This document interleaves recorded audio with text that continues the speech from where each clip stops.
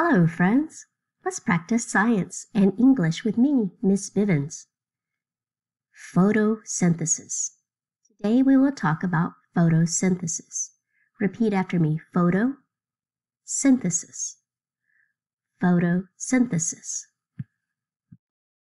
In this lesson, you will follow along with me by watching the video and responding to questions on an assignment in Google Classroom. Pause the video as you need in order to write your answers. Number one, how would you feel if you were in the sun all day long without eating food? Pause now while you find the assignment on Google Classroom and answer this question. How would you feel if you were in the sun all day long without eating food? Did you write, I would feel hungry? You are correct. But does a cactus get hungry from being in a desert all day long? Does it order a pizza? Could I get a large pepperoni pizza, please? Click on this video to learn the answer to that question.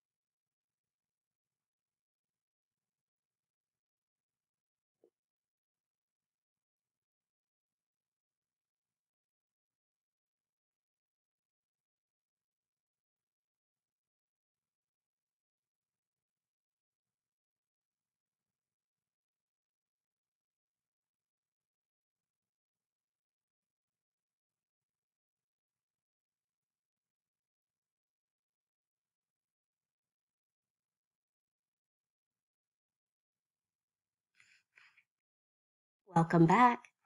Please go to your doc and answer this question. What do plants give us? And why is this important? Did you write plants give us oxygen? That's right, they do. They give us oxygen, and it's important because we need oxygen to breathe. For number three, please write the following definition on your Google Doc. Please pause as you need gas that has no color, hmm. taste, or smell. Most animals need it to live.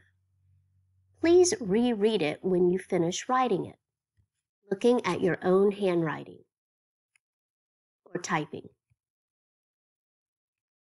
Next, it is important for us to understand two vocabulary words. The first one is autotroph. Autotroph. When you see this word or think of this word, I want you to look at its word parts. Its prefix auto means automatic. An autotroph is an organism that can make its own food. Here are some examples. Flowers and plants, trees, and grasses. These are all autotrophs because they can make their own food. The other important word for us to understand is heterotroph. Here is a picture of a heterotroph. Can this woman make her own food from sunlight, air, and water? A heterotroph is an organism that obtains or gets nutrients from consuming other organisms.